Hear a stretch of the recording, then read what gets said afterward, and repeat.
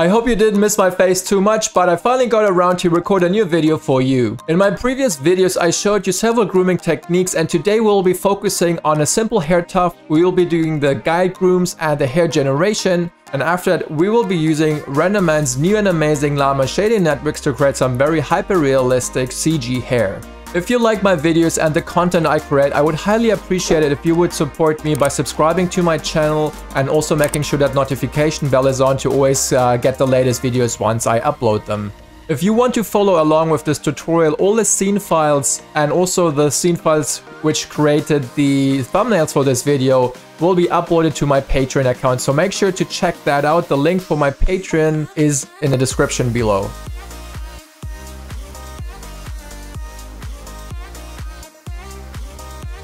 Alright, so here we are back in Houdini. I want to first start off with a little geo, which will be our representation of the head.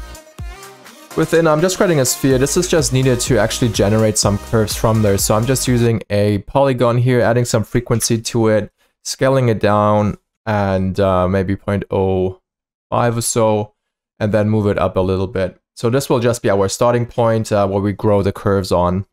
What I always tend to do, um, I'm creating a few um, nulls for just for um, clarity's sake. So this will be my main out geo.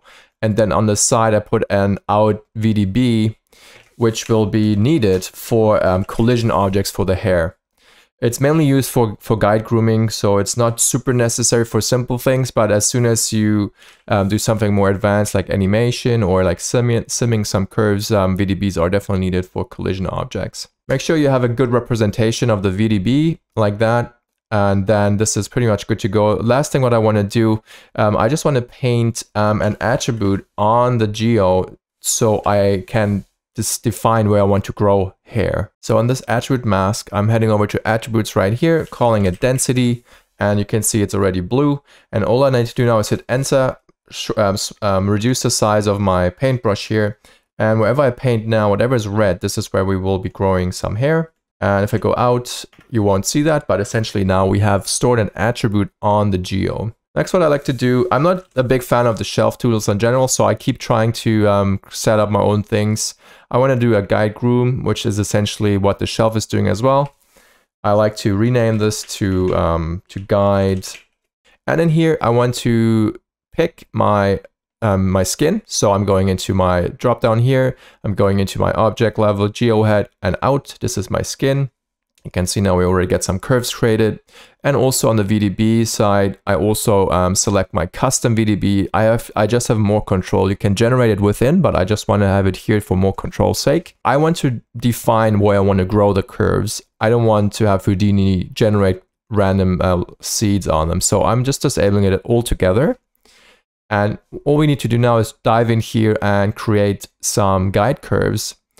Typically what I use for grooming in Houdini is called Groom Bear. It's a third-party um, plugin, uh, but you can totally also use the default ones which just ship with Houdini. This has just a little bit more flexibility in terms of um, guiding the, the curves and stuff. It's just, I would say it's resembling how XGen works in a sense. All right, so if I now, let's see, if I visualize everything above, you can see we have our sphere. I'm changing my radial menu to be um, Groombear, which is um, some tools for the plugin. I can then navigate to draw. Make sure you select the Groombear node while doing this. Um, draw, and then typically I can just draw some kind of curve and I can shape it, like modify its um, origins, can change the fall-offs on the curve. Let's see where fall-offs are. And then we already have a very basic curve. So now you want to see, okay, this is just now the guide curve. We need to generate some hair on it. So all you got to do, hair generate, quite straightforward. And this one now, um, I always rename this. This will be my groom. In here, it, it, it asks for the groom object. So all you got to do is drag it into the slot here. You will see hair will be generated. This again asks for a collision object, so you can just do the same thing. You can either copy it from the geo, or you can just quickly navigate to the out VDB, accept that, and now we have the collision object. Right now we don't have a shader, so I'm just hopping into the material context by holding N, going to material, creating a hair um, shader. This is Mantra's or Houdini's default hair shader, which is good enough. Alt left keyboard jumps me back to my previous location. And in the material slot right here, I'm just picking up the material context. And you should see now we have some color, some brown color on the hair itself. Um, you can increase your hair density. You can also see we get more hair now. And I can change how, how much it scatters. Right now, this is not um, respecting my painted area, like where we painted the density. So we have to go to um, to density here. There's a no override. Make sure that you set that to skin. This will default to density and you can already see now we only have hair where I painted. What I like to do, go to thickness as well and pick skin attribute and make sure the thickness is also driven by my density. What that means is on the borders, um, where it fades out to a different value, they, the hair will get thinner. If, if I blur them out, you will see that we get thinner hair on the outside. This is actually typically true um, as well. Whenever you get the, to the to the edge of your your hairline, you will see you get thinner hairs. And I'm just um, essentially representing this using um, the density. It's just a multiplier. Um, let's see what else we need. We do have our thickness. So hair is uh, pretty thin. It's This is a little bit too thick for human hair. So if you add a 0 and a 5, this is more representative of an average human hair um, in nanometers. This is now, I believe, in millimeters. And you can already see now we don't have enough hair, like it's very sparse. So typically then I'm just increasing the density. You will see we get more hair. It's nice and thin now, and this is definitely already workable. We will definitely adjust this as we go along. What I also like to do is change the blending mode um, to be extruded, which just means it will has it will retain its volume a little bit nicer. It will not collapse on its on itself. And from here on, this is now all about grooming. Uh, sorry, it's all about, yeah, setting up the guide curves, making sure you get some nice uh, edge flow or curve flow. And then we will be doing a lot of work within the hair generator to make them actually look realistic. So why don't we first uh, go back to the guide head here. What you can do, you can keep the hair active, but you can go to optimization, prune it, and this will only retain 10% of the final hair, which helps to just shape this a little bit easier. Right, so what I'm doing now, I'm diving back into our guiding section here. And if I hit now C, I can now move my, my guide curves and you will see the hair is uh, respecting that. And I can essentially groom in real time, add some nice loops in here, make this uh, workable and then maybe follow a reference. It's probably more recommended. So I will be doing now some guide grooming and then uh, we'll see what we get.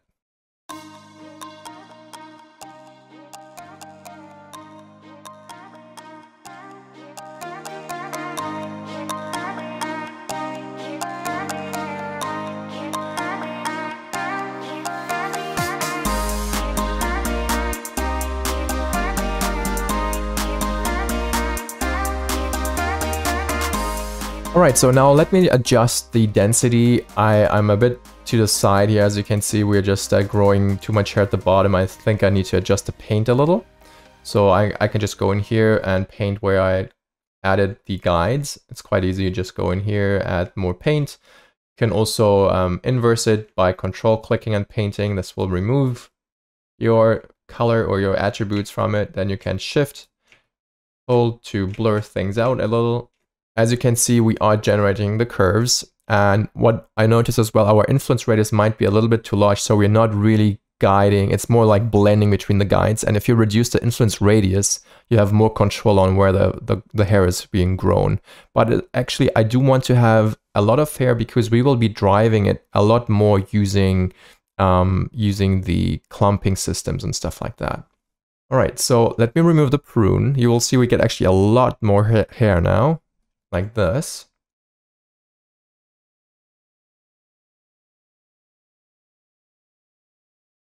So now if we dive into the hair generate, this is where we do lots of different things to the hair to make it more believable. Because right now we are just we just created this clump of really groomed hair. So within here, we have lots of control to control the clumping, the overall look of the individual hair fibers. So what I first want to do, I want to generate a little bit more guide curves within this, which are then being driven by the clumping system. So in here, you can create another hair generate. And again, this is just the workflow I came up with. It's nothing specific, or maybe there are way better ways to do it. This is just um, doing the the grooming side of things, um, how I figured out it works best for me. Um, I don't want to grow hair everywhere. I just want to um, grow it around the guides. So before um, this, let's see if I can actually do this. Create a null. This is the, the, the three guide curves I drew per hand, and then you can generate more around those, which follow and interpolate between those. So you can obviously reduce them to be um, a very small amount, and you can remove the relaxed iterations, so they are just randomly spaced. Remove this, um, the influence radius, and you will see they will follow my initial guides a lot closer now. So this is quite nice if you want to add a little bit more fidelity to your grooms. And you can space um, the, the new guides with the influence radius a little bit. I think this is a little bit too much for now, but we will be tweaking this as we go along. And you can probably have one um, relax iterations just to have them not too close to each other. Something like this could work. So this is now my additional um, guide curve. So you can rename this to say additional. And what I want to do, I want to use those to drive my millions or hundred thousands of hairs. So I'm using another clump, hair clump. And this time I'm grabbing my, my hair from the hair system, which is all the 100,000 hairs we have. Um, and I'm hooking it up properly. So skin to skin, um, VDB to VDB. And then the last input here is called custom clump curves. And I want to um, connect my custom clump curves to this. Right now, you will see this is what we get. And you can essentially control this now using the clump size. And this already looks cool, but it's not really directed based on our initial guides. And this is typically something you want to do. Um, so I'm just using this to drive it. And you will see now they follow actually um, these guide curves, which follow my three, which we painted before, which is super nice because now we have all the control we need for this. And if you find these are too thin, like as you see in my um, two reference images, they are probably a little bit too sparse, like, sorry, not um, too, too clumped. You can change the amount of additional guides here and you will see if I just add a, a handful, you get this, which is essentially our original guides. And then you can add more and more and more to really break up the look. And we will kind of be doing this um, as we go along. So let's just for now maybe add 3000 and this number is arbitrary to um, to your scenes, right? This is just um, for my scene scale or whatever. And the hair clump, you can also play around how strong they are actually clumping, which is quite typical and um, control this um, via root to tip. And what we then want to do is we want to add more details, more frequency, and just these fly off um, individual smaller clumps. And right now we just have these big chunks which look a little bit awkward. So what I like to do then is we need to break it up more. I think also the top here is a little bit too um, loose. So I'm just I'm clumping them a little bit together. And uh, you can also change the seed um, so you get a different kind of scatter result until you, you find something you like more. Maybe this is a little bit different. You can change the influence radius. I think this works a little bit nicer. And what I want to do now, as I said, I want to really break it up a little bit more. So what I always like to do, go create a um, guide mask. I always hit GM, hook it up. And I want to rename this to frizz mask because this is essentially driving my output mask name. And if I go in here, I can change to use noise mask. And this way I can control individual strands and I can play around with, with the gain and the, the bias to just um, isolate a few of those strands like so. And what I want to do then, I want to frizz those up. So frizz is just a noise along the curve. If I use this now, you'll see everything is essentially um, noised up, like there's a little minor noise to it. Um, but I want to just drive it based on this mask. So I'm going into the masking blend, picking the guide attribute, and then in here I should have my frizz mask, which we just created. And now the frizz is only applied to um, a few hairs in here. And within the frizz operation, you can change obviously the amplitude, you can change the frequency. I just want to have it a very low frequency. So I'm just pushing them outside a little bit, something like this. And you can apply random frequency. So it's, it's always good to randomize things. And I also probably want to increase my bias a little so we get a little bit more hair being pushed around. And once I did that, I'm doing another clamp after this. This will give me individual smaller um, hair clumps or hair strains. Hair tufts is probably the best word. We'll see now if I do it really small, we get these nicely individual shapes of this.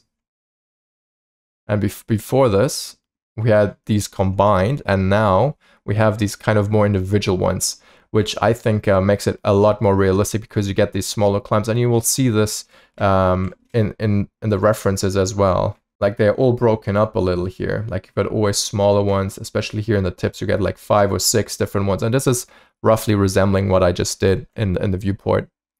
Um, it probably is a bit too all over the place, but these the references on the left are just here for me to to just get closer to reality, right? It does not need to be a one-to-one -one match because this is not the intention of this video. And you can also add a be, before we go into all the frizzing up, what I like to do, let's just call this um, guide clump. And then I create another hair clump like that. And this one here will then be a secondary clump or so which just breaks up our initial um, tufts a little bit more. So you can reduce the size of this. You will see now, instead of having these three bigger ones, if I reduce this, we get a little bit more broken up ones. It's similar to what we did before. Uh, it's just um, a little bit more constrained to the original guides. You can use crossover to, um, to break these clumps up a little bit so they're not super tight and then you apply the same frizz mask, you do this breakup thing, and then you get these individual, um, it's maybe not superly groomed as you would expect if you come from the hairdresser, but you get the idea that you have these nice individual curves. What I want to do next is create one more masking, and this will be fly away mask. So I'm creating another GM guide mask, hooking that up, and I call this just fly away and this one, instead of using this noise, which we did before, we will using random, and this just um, picks me a percentile of the hair. So one is 100%, and then obviously you've got 10% or whatever. And I want to use this one to create these um, fly away hairs on the side, left and right of the main tufts. I'm using frizz again to drive that. And I'm just targeting again just my um, fly away mask using guide attributes, fly And now you will see that we we get this nice um, effect of just hairs going um, all over the sides here. And the cool thing is you can also shorten them based on the same mass. So what I like to do as well is using um, the length, set length here, drop that in, and set this to multiply and randomize, and just pick our flyaway hairs from the guide mask so now we will be only shortening the flyaway hairs. Right now we are not doing anything to them, but now you will see that I'm actually shortening them, shortening them or lengthening them. You always want to go shorter because um, Houdini doesn't know what you want to do with the hair, so it just extends them, which is weird. But if you shorten them, you always get the desired result. And then again, you can um, amp up the frequency maybe. Let's see how many guides. Oh, we actually need to connect this. Connect it to our main output here. Go up a level what we get. So this is roughly now, I think it's we, we don't have enough hair yet.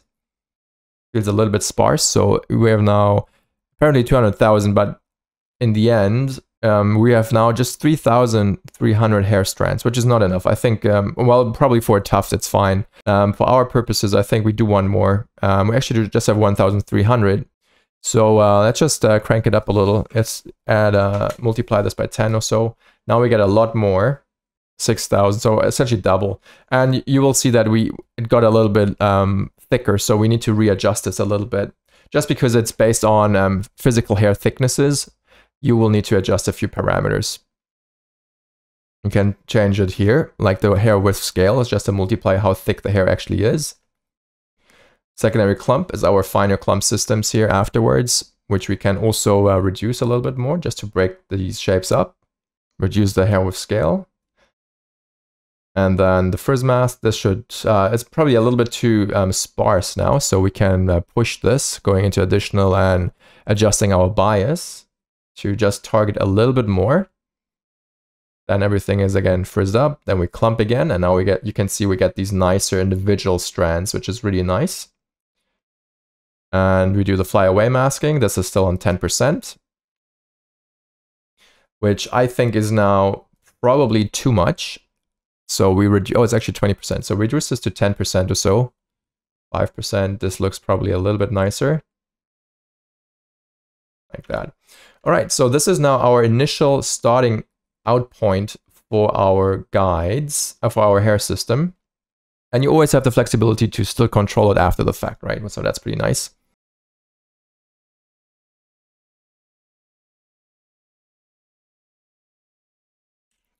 Right, so we're using RenderMan this time, which is the first um, of me using RenderMan. So I will be just uh, going over the shelves quick. I'm just creating a dome light, control clicking it will create me that dome light. I do have a preset for my studio light, which will just uh, plug in an HDI source in here. And next up, I want to create a render camera. We just need to find a good angle. I think um, my initial idea was this angle. Kind of like this more. It really doesn't matter. We can adjust the guides later. So I'm just, um, it, RenderMan needs to have a camera. So I'm just um, angling something up here, going to lights and cameras, control click camera, which will then always fill it up like that. But then we do have a um, frustum here and we can aim where you want to render. I'm just moving it to the side now. I'm changing the resolution to be um, one uh, 2K like that. You create the ROP, which is essentially the render engine. You need to go to your out context here to see the render ROP. This is our render settings. It creates your path trace automatically.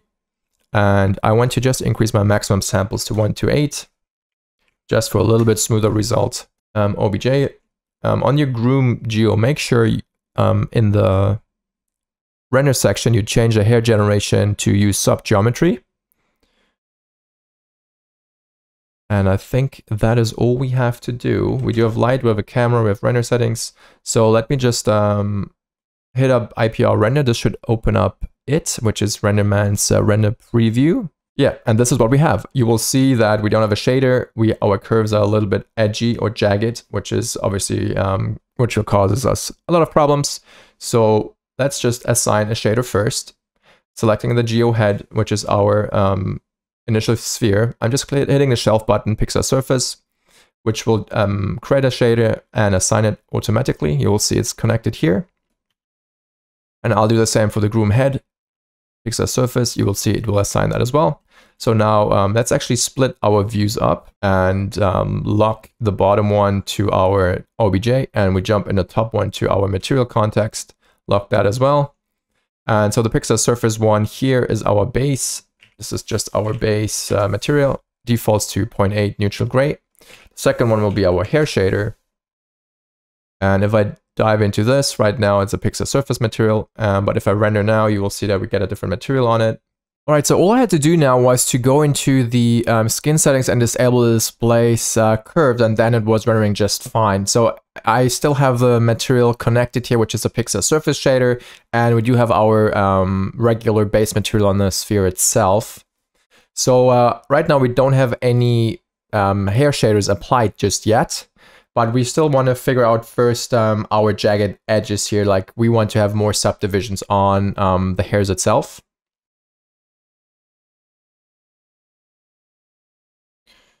Um, so what I want to do, I want to, so what I want to do, I want to jump into the guides itself.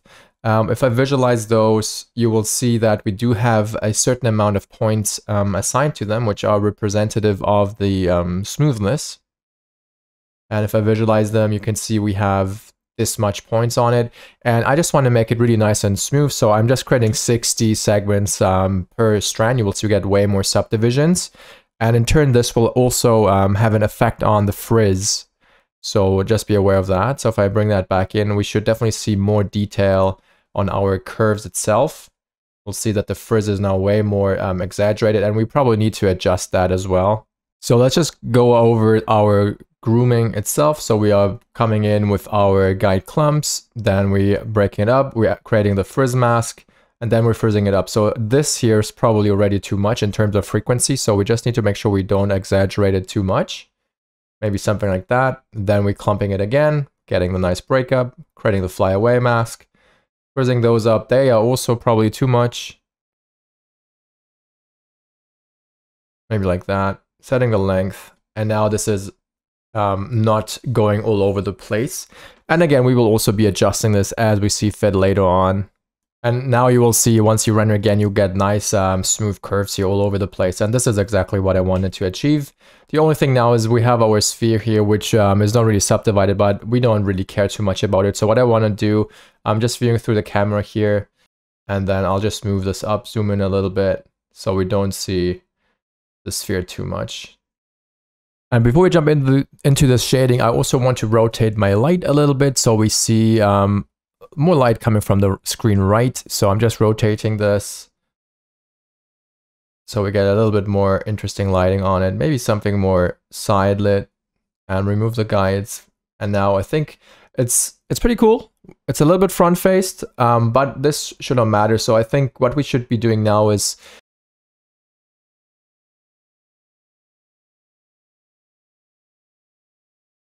um, jump into the hair shading. And this is quite straightforward to be quite frank with you um, using the Lama shading networks. So in the Pixar material, um, I'm just diving in here. Right now it's a Pixar surface shader, so I'm just deleting that. And then I'm just creating a Lama surface um, material shader here, uh, plugging that in, and then the Lama surface will get its um, Lama Chiang hair shader, hair chunks shader um, in the material front. And this is essentially how a Pixar or Arnold surface shader would be. It expects a material and this goes in here. And then this is essentially the defining how the shader will look. You have certain parameters on the surface like um, subsurface scattering, toggles on and off, interior on and off, opacity on and on, stuff like that. But mainly this is uh, this is driving the shader. What I always like to do, um, instead of using the colors in here to get exactly what you want, um, I'm using the Pixar hair color node.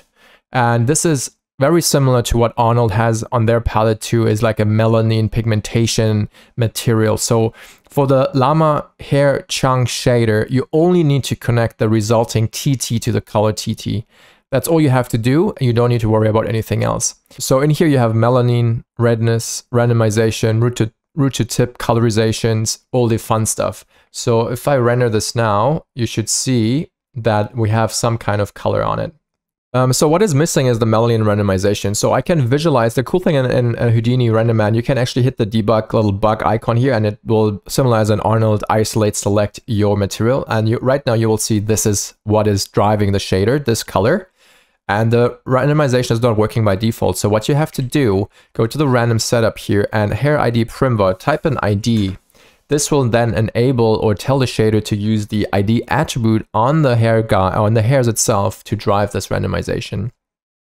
The default for this material is um, it has a stray hair density, which is like these um, the white uh, mutant hairs. Typically, I'm just disabling that because I don't want to have too much uh, white hairs in this. The hair color itself, so the more you go to the right, the darker the hair will get, and the more to the left, the blonde or white the hair will get. So if I show that in the shader itself, this is now pretty much white hair, and then you can go to the right, you get all shades of pigmentation here. If I go back to the debug, I want to have this randomization. You will see that this will create essentially a random color per strand. This is what I want, and this will give, give the hair a more realistic result. You don't want to exaggerate it too much though, like the default 0.05 um, actually, it's 0.005. No, 0.5 is pretty good on default. Sometimes I just go up a little bit more, 7.5 to exaggerate that a little bit more. What you can also do, it has a root to tip colorization. The unfortunate thing is this will actually change the pigmentation, which I believe is not accurate. I think the hair pigmentation along the strand is always the same. It's just how you dye your hair. This is why you get these blonder tufts or when the sun hits them, it will get different. So if I visualize this, you will now see that we get a slightly different color at the top. So I'm not a big fan of that. So I will be doing some custom things. And this is now why we go into um, shading and doing look dev on the hair. Up till now, this is the default simple shading. You can use the controllers to get the look you want. Can change the um, re reduce the redness of it, get more brown hair or whatever, and this will get you already quite far in terms of realistic hair shading. Uh, but I, what I wanted to show you now is a more detailed approach, how you can really push um, the detail and the, the quality of your hair.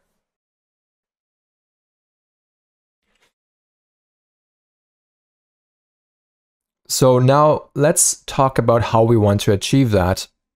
The main thing is we need to go into our groom and export a few parameters.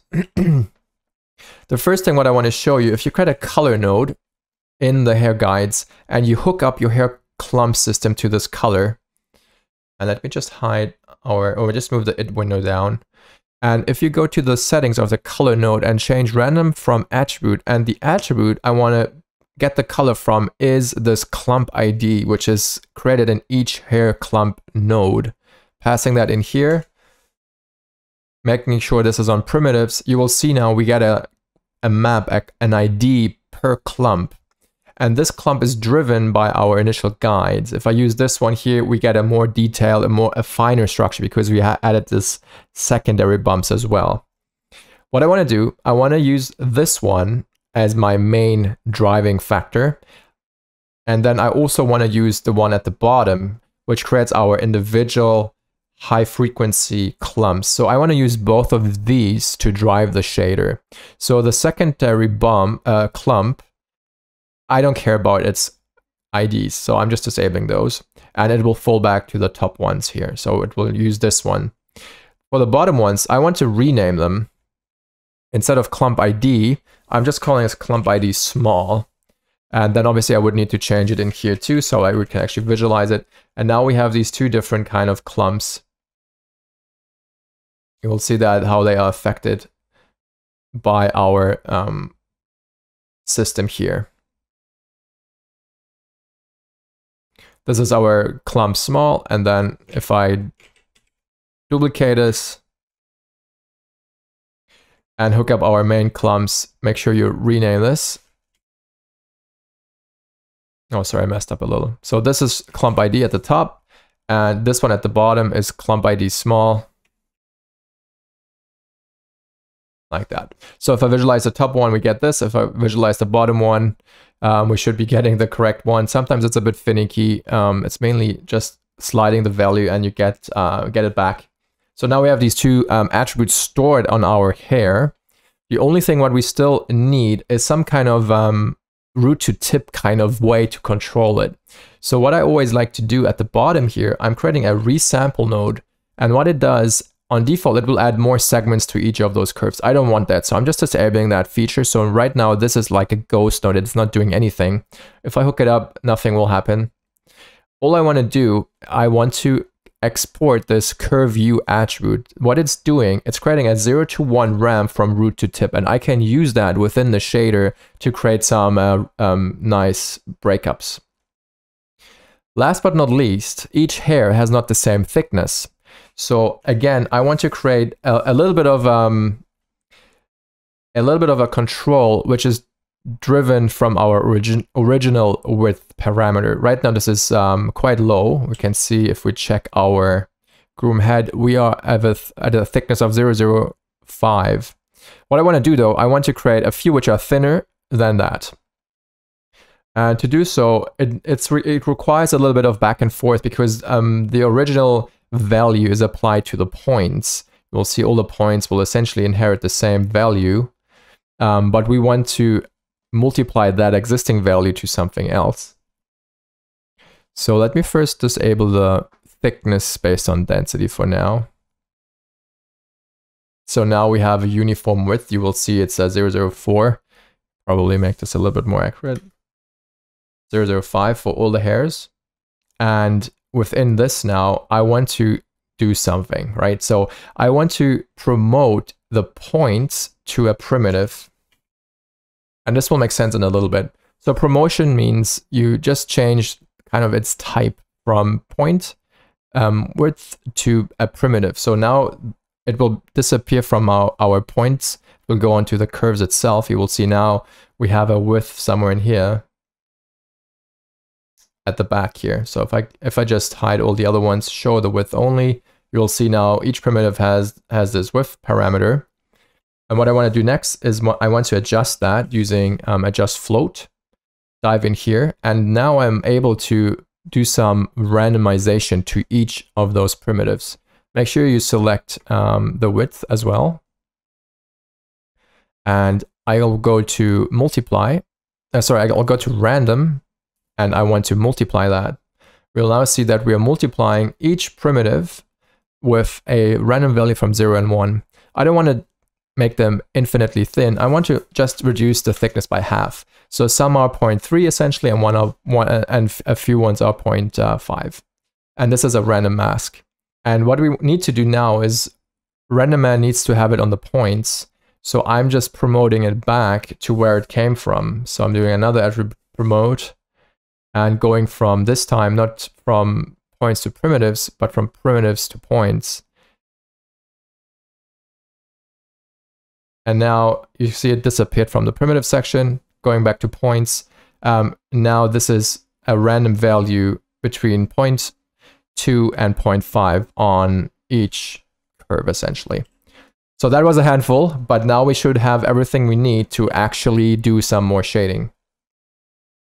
All right, so now we do have those attributes on our hair, but the thing is that this hair generate node, this wrapper, is actually not passing these attributes to the shader. So within the attributes section here, you would need to add our clump. So we want to add clump ID to it. We want to add clump ID small to it. And we also want to add the curve U. So now we have our three new attributes which we created on the inside are now on top level. So now the shader can actually read those. What I like to do, how I like to control this pixel hair color is using vary nodes. It's similar to Arnold's jitter color. So Pixar vary will just give you the option to drive the hair based on an ID. So if I hook up the TRT as my input and go back to my color TT and I render, you will see there is no change. If I visualize just the map, nothing is happening. I want to change this vary source to prim var and change the variable name to $OS, which is then reading the name of the node. And I want to just rename the node to clump ID. And you will see nothing really is changing. We are just we just have now more control. If I change the luminance now, you will see the luminance is only changing based on our clump IDs which we generated in the hair itself. And this is now a nice way to control per clump the color we want to adjust. So I can easily go to luminance, make them a little bit darker, maybe change the hue very little. Let's change the, the hue mode to um, additive. So we're going into more like a blonde in a few areas. We can also visualize it obviously like this. You'll see now we have a little bit browner, a little bit blonder hair tuft, which is nice. Because in the hairdresser, you will probably go and ask, hey, can I get some highlights in there? So you will get this variation. Same with luminance, you can push that a little bit so one is a little bit darker than the others. And this is now, as I said before, for our initial um, large clumps. What I like to do then, I just alt drag on a node to duplicate it and rename this clump ID to underscore small. And I rewire it from clump ID to TT. And now we have a different kind of control in here if I visualize this one, we will now see, because we just copied it, we still have the values left. But if I now change the luminance, this is now actually changing our smaller tufts, which we created afterwards. So now we have even more finer control and we can um, create the look we want. Sometimes you want to have the clump ID being controlled first or after, but it's not really that necessary. I just want to show you the flexibility you have with this kind of system. And now it's just about fine tuning all the parameters. And the cool thing is you have still the main flexibility of your original melanin and it, it's essentially just multiplying um, the other values. And the last thing what I want to show is how you, we can apply the curve U attribute, how we can actually control that in a, in a nice fashion. So I'm using the primvar reader, which is like in Arnold the user data. It just brings in a primvar and we just want to call it curve U. And we also want to be able to control this using a pixel remap, similar like AI uh, range. And if I plug that in using a pixel color correct in here in between TRT goes in here, result goes to the input, and then it has this masking option, similar again as an Arnold, you can have this mask. And I want to um, plug in the result R into the mask input. And now we have this primvar connected. So let's visualize that. This is our primvar. I can remap this. So if I want to have more flexibility, more control, I can change the input ranges. You will see now um, just the top is being affected. We always want to invert this so whatever is white will be controlled by the color correct. So make sure to just reverse those two values. Now the top will be affected. You can still change um, the values, obviously, how you want, how strong you want to have it affect. And then if I visualize the color correct node itself, you will see that you can now uh, go to the color tab can reduce the intensity so it just gets dark it does not change the hue. This is what the um, other one did. It was changing the hue. This is just uh, you can essentially desaturate the roots make them darker by half. So now you have a lot darker roots if I visualize the result. Um, let's see remove this one. You will now get darker roots than you have in the tips and you can change as I said the fall off using the ramp you just want the roots, um, you would need to adjust this even further, go back all the way. So only now this area here is affected by the color correct and you will see there's a color shift in there. So now I will just be spending a little bit more time just to fine tuning the stuff, playing around with the values and that's pretty much um, the details I want to push out. You can We can also adjust the groomer a little bit in a bit.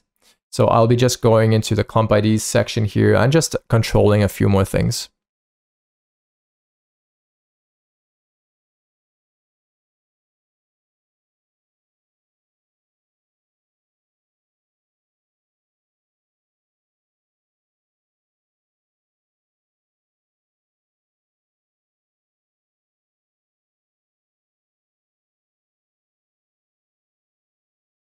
Alright, I did a few minor more adjustments to this, adjusting the width of the hair and also playing around with the shaders slightly, at least with the clump ID colors. And then I rendered a 4K render. This is very close up, so the hair thickness might be a, uh, seem a little bit thick, but I think it's still quite accurate because we are very close to the hair tufts. At the top, at the base, you will see we are still um, a little bit, we're, we're lacking subdivisions. Typically in RenderMan, you can set the curves to be interpolated as Bezier or Catmull-ROM. Unfortunately, there's still a big bug going on that it will um, not generate the curves of all the attributes we intended. So the only solution for now is just to really subdivide your curves, which is fine. I hope this was a helpful tutorial for you, and I hope you're looking forward for more RenderMan and Houdini content. Please let me know below. Leave me a thumbs up if you like that. If you have any questions about any of these, please drop them in the comment section below Alright, so I hope everyone is excited for more RenderMan content. I will be trying to upload regularly again and I hope to see you in the next video.